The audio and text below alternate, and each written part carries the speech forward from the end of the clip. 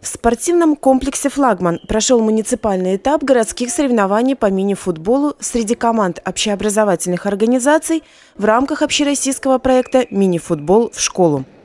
В соревнованиях приняли участие не только команды юношей, но и девушек.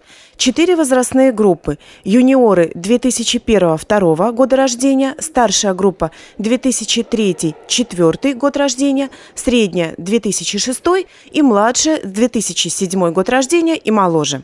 Соревнования разделены на три этапа. Первый этап – муниципальный. В нем по итогам игр среди футбольных команд школ выявляют сильнейшую команду в своем округе. Далее эта команда принимает участие во втором этапе – зональном. Команды-победительницы финального этапа соревнований в каждой возрастной группе среди мальчиков награждаются футбольными полями с искусственным покрытием размером 40 на 20 метров, кубками «Новотек Кострома», дипломами, лучшие игроки – грамотами. Команды-победительницы получают право выступать в третьем этапе соревнований.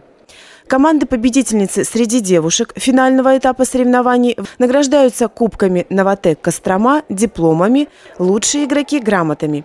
Команды-победительницы также получают право выступать в третьем этапе соревнований. Цель организаторов данного проекта – поддержать одаренных ребят, которые есть в каждой команде, чтобы у них была возможность заниматься футболом более профессионально. А, победитель в дальнейшем выходит в зональное соревнование – и, соответственно, выигрывая зону, попадают на областной финал. Интерес в том, что последние три года среднюю и старшую группу под свое крыло взяла компания «Новотек».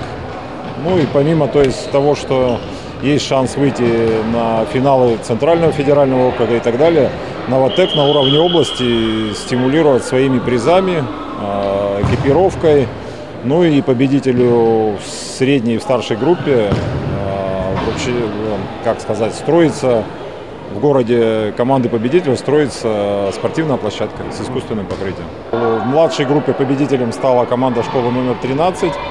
В средней группе 2005-2006 тоже 13 школа выиграла. В старшей группе победителем стала команда школы номер 2. И в юниорах а, победила команда школы номер 9. В общем-то, все школы наши будут представлять город на зональном этапе, который пройдет 15 ноября здесь, в спортивном комплексе «Флагман». У всех есть возможность показать себя, выйти в областной финал. Ну и стоит отметить, что турнир прошел э, при большом стечении участников.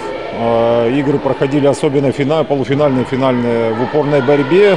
И зачастую победителя выявлял там один мяч, Допустим, в последней игре по старшей группе вообще все решено было на последних секундах матча. То есть три команды претендовали, и в итоге вторая школа забивает гол и становится победителем. А так шансы были у 9 и у 13 Ну, одинаковое количество очков набрано, и только по, допол- по дополнительным показателям команды э, становились победителем этого турнира. Это говорит все-таки о том, что вид спорта популярный и в школах развивается. На зональном этапе, что касается проводимом под эгидой «Новотек» у нас приезжает Судиславль, Сусанина, Солигалич и Буйский район. А тот, что проходит э, по младшей и по юниорам, там у нас приезжает Галич, Солигалич, Сусанина и Буйский район. Ну, то есть вместо Судиславля будет еще Галич. Есть, ну, ближайшие наши соседи, как бы у нас лучший зал, поэтому едут к нам. Вполне возможно, что один из финалов здесь проведем. Впервые в муниципальном этапе от школ приняли участие три команды девушек. Это команда школы номер один, школы номер два и школы номер 13 имени Рудольфа Александровича Наумова. Прочитав положение, изъявили желание. И что самое интересное, уже позвонила Сусанина, на зональный этап тоже привезет команду девочек. То есть они не просто попадут в финал, а еще придется отбор какой-то проходить. То есть как бы популярность женского футбола растет, я так понимаю. А, то есть женскому футболу будет ну, быть. Кто вообще э, готовит эти команды? Они на базе школ подготовки? Да, это мини-футбол школа, это чисто школьные команды. Э, в основном э, вся нагрузка лежит на учителях физкультуры. Ну, скажем, у первой школы, вот Зауч занимается этим, сама позвонила, предложила, что да, мы будем участвовать, ну, мы только рады. То есть мы специально не стали их э, смешивать с мальчишками в соревнованиях, чтобы это они отдельно, спокойно пришли, могли отыграть, выделили им время. К сожалению, не удалось команде девятой школы, потому что одна из участниц уехала на всероссийские соревнования. И говорят, что ну, была бы она здесь, то команды бы тоже было. Поэтому, ну, 4 школы выставляют очень хорошо. И самое главное, что они отозвались, вот сами видите, по 10-12 человек пришло и с желанием, и, ну, посмотрим. Будем и в дальнейшем стараться проводить. Так, а зональный этап у женских команд когда будет? проходить? То же самое 15 ноября, да, в один день это будет уже проводиться не нами, а областной федерацией. Соответственно, в один день все команды приедут и 15 ноября здесь выявят финалистов областного этапа. Среди команд девушек места распределились следующим образом. Первое место завоевала команда школы номер 13 имени Рудольфа Александровича Наумова. Второе место – школа номер 2. И третье место завоевала команда девушек школы номер 1. Лучшими игроками в командах признаны София Коленцова, учащаяся второй школы, Доминика Соколова, представительница команды школы номер 13 имени Рудольфа Александровича Наумова, и Анна Смирнова, учащаяся школы номер 1. Впечатление после игры? Нормально. Устали? Да.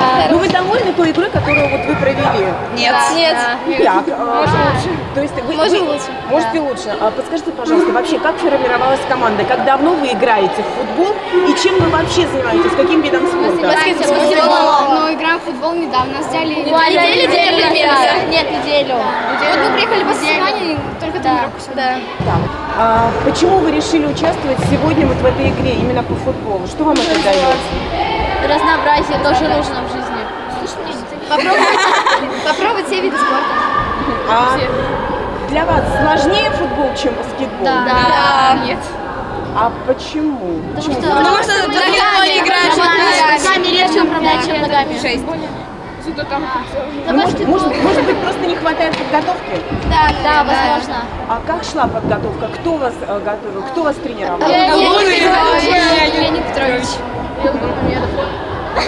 Они нам помогали. И старшие ребята тоже, мальчики. А, то есть рассказывали как? Да, играли с нами Хорошо, вместе. сейчас прошла у вас первая игра. Вы сейчас всей командой сядете и обсудите ошибки. Да, возможно, да. А, Скажите, пожалуйста, команда, с которой игра- играли, э, достойные соперники? Насколько трудно было тяжело? Они старше нас. Они старались. Достойные соперники, в общем-то.